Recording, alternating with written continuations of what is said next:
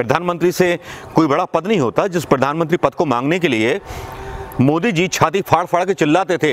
बस छप्पन दिन दे दीजिए, छप्पन इंची सीना देख लीजिए। बस एक बार मुझे प्रधानमंत्री बना दीजिए, मैं आपका चौकीदार बन के दिखाऊँगा। उस चौकीदार ने कितनी बड़ी लूट कर दी। ये देख लिया ना?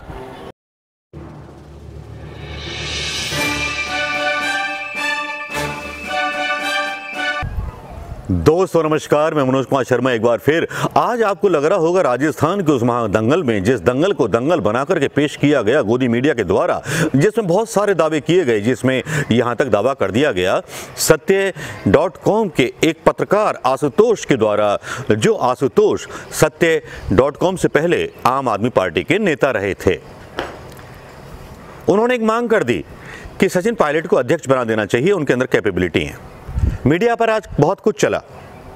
इतना कुछ चला, मैं आपको बता नहीं सकता कि कितना कितना झूठ फैलाया गया गोदी मीडिया के द्वारा। गोदी मीडिया का झूठ जो खुलासा कर सकूँ तो सबसे पहला झूठ ये होगा, जो आज शाहनवाज हुसैन ने आरोप लगाया कि राहुल गांधी और प्रियंका गांधी नहीं चाहते कि उनके मुकाबले का कोई नेता पैदा हो।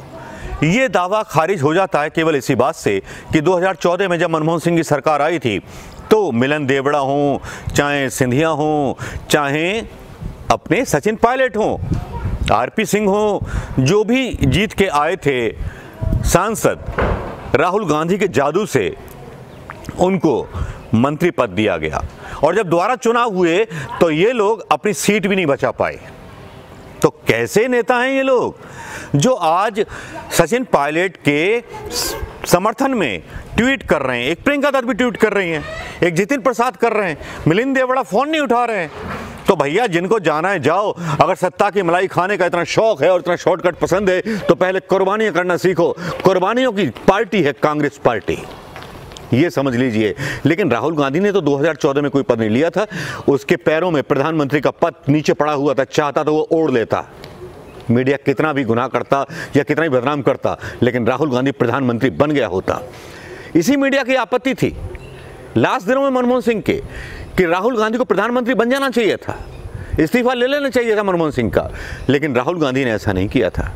राहुल गांधी वो व्यक्ति रहा जो पावर में था, जो गांधी परिवार का था, जो चाहता वो करता, लेकिन उसने नहीं किया।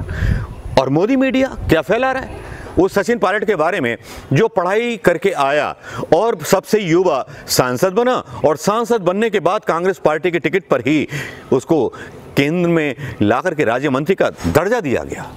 कितना मज़ाक लगता है। आज की मीडिया का ये बहस चलाना कि राहुल गांधी और प्रियंका गांधी नहीं चाहते कि कोई और युवा बढ़े। अगर इनके अंदर इतनी हिम्मत होती तो बिना कांग्रेस के अध्यक्ष पद के, राजस्थान के मेहनत करके दिखाते। जितेंद्र प्रसाद, मिलिंद देवड़ा और पता नहीं कितने नाम है, अठारह युवा थे। लेकिन ये अठारह के अठारह सीट हार गए थे। सचिन पायलट भी अपनी सीट हार गए थे लोकसभा में 2019 में। 2014 2019 में थोड़ा कंफ्यूज हो रहा हूँ, सर करेक्ट कर लीजिएगा, दोस्तों। क्योंकि जब ये जीत के आए थे तो लगा था कि कुछ आशाएँ लेके आएँगे, कुछ काम करेंगे। वो जमाने और थे, शायद पाँच साल पहले 2009 में जीती थी मनमोहन सिंह सरकार।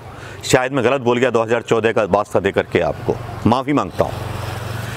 लेकिन दोस्तों, आप खुद ही बताइए, जिस राहुल गांधी की वजह से इनको प्रसिद्धि मिली और जो राहुल गांधी दिन भर फ़ोन करते रहे, सचिन पायलट का एटीट्यूड सचिन पायलट का वो एटीट्यूड जो फ़ोन नहीं उठाता है जब प्रियंका गांधी माँ के सामने अड़ जाती हैं, युवाओं को रोकने की कोशिश की जाती है।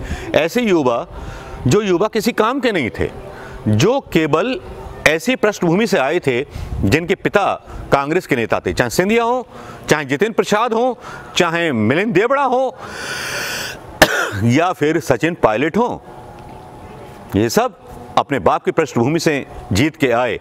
इनकी जगह आम कार्यकर्ता भी जीत सकता था। लेकिन कांग्रेस रिश्ते निभाना जानती है। उसने रिश्ते निभाए, इनको टिकट दिया, मंत्री भी बनवाया। लेकिन गांधी परिवार ने कोई पद लिया क्या? प्रधानमंत्री से कोई बड़ा पद नहीं होता, जिस प्रधानमंत्री पद को मांगने के लिए मोदी जी छाती फाड़ फाड़ के चिल्लाते थे। बस छप्पन दिन दे दीजिए, छप्पन इंची सीना देख लीजिए। बस एक बार मुझे प्रधानमंत्री बना दीजिए, मैं आपका चौकीदार बन के दिखाऊँगा। उस चौकीदार ने कितनी बड़ी लूट कर दी। ये देख लिया ना? लेकिन यहाँ मोदी की जो भी मीडिया है या गोदी जो मीडिया है, वो अचानक से सचिन पायलट के साथ हो गई है। सचिन पायलट की खूबियाँ गिनवा रही है। सचिन पायलट के बारे में बहुत सारी बात कर रही है। जबकि अशोक गहलोत ने कोविड में बहुत अच्छा काम किया। सचिन सचिन पायलट ने कितना काम किया कोविड के बारे में? एक भी कोई मंत्रणा या कॉन्फ्रेंसिंग इन्होंने की, सोशल मीडिया पे की हो या कहीं की हो। अलग मोर्चा बना लें, ज़्यादा बेहतर होगा, कांग्रेस में नहीं आ रहे तो बना लें। साबित करें। बिना कांग्रेस के अपने आप को।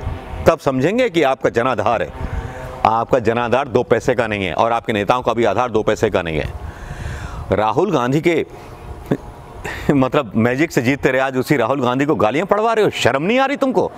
काहे के दोस्तों तुम्हारे जैसे दोस्त अगर होंगे तो पीठ में छुरे घोंपने वालों की ज़रूरत नहीं होगी।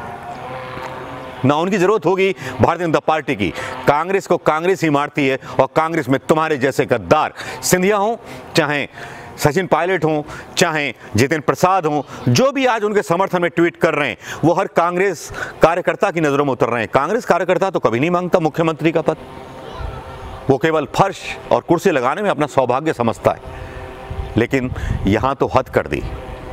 कभी आम कार्यकर्ता से सिंधिया महाराज मिले कभी आम कार्यकर्ता से सचिन पायलट मिले अपनी जाति के अलावा? जातिवाद को अगर कांग्रेस के अंदर बढ़ावा दिया है तो इन लोगों ने ही दिया है। मिलिंद देवड़ा हो, चाहे पेपड़ा हो, चाहे ठोपड़ा हो, और जितेंद्र प्रसाद बोलते हैं, मैं ब्राह्मण नेता हूँ। ब्राह्मणों के लिए भैया क्या किया तुमने? विकास दुबे का एनकाउंटर हुआ। विकास दुबे के एनकाउंटर पे क्या आपने सुप्रीम कोर्ट में याचिका डाली? अगर आप इतने अच्छे होते तो लल्लू प्रसाद अजय को ना बनाया जाता। प्रदेश का अध्यक्ष। आप जब भी काम करोगे, जब आपको कोई ज़िम्मेदारी दी जाएगी, बिना कोई ज़िम्मेदारी मिले कोई काम नहीं करोगे। पैसे कमा के बैठ गए। पेट्रोल जैसा मंत्रालय लेके बैठ गए थे, पता नहीं कौन कौन से मंत्रालय लेके बैठ गए थे आप लोग। आपने केवल कांग्रेस को छलने का काम किया है, क्योंकि कांग्रेस ने आपको वक्त से पहले सक्सेस दे दी और सक्सेस का मंत्र पढ़ा दिया राहुल गांधी ने, जिस राहुल गांधी ने प्रधानमंत्री पद को ठोकर मार दी। दोस्तों, मोदी मीडिया के खिलाफ ये काउंटर बना सकता था तो बना दिया है। अब आपको कितना पसंद आता है, कितना नहीं आता है, ये आपके ऊपर डिपेंड करता है। जय हिंद दोस्तों, बातें पसंद आई हों तो ज़रूर शेयर कीजिएगा। एक बात और बता दूँ, यहाँ पर सचिन पायलट के लिए आज तक ने एक पोल डाला था, जिसमें कहा गया था कि अशोक गहलोत ने सही किया, निष्कासित करके या गलत किया। तो बयासी परसेंट जो पोल था, वो अशोक गहलोत के पक्ष में आया और 12 परसेंट जो था केवल सचिन गहलोत के पक्ष में आया। इतने बड़े जन नेता हैं और इतने बड़े जन नेता हैं तो भारत, भारतीय जनता पार्टी इनको ले जाए अपनी पार्टी में। और जनता दल भी शामिल हो जाए, ये बोल करके कांग्रेस सुधर जाएगी, कांग्रेस को बदनामी दी जा रही है। तो मैं तो ये बोलूँगा कि सचिन पायलट अलग पार्टी बनाते हैं तो अजय आलोक, जनता दल और बीजेपी, इसी में उनका विलय कर दे अपनी पार्टियों का तो ज़्यादा अच्छा होगा। दोस्तों, नमस्कार, जय हिंद।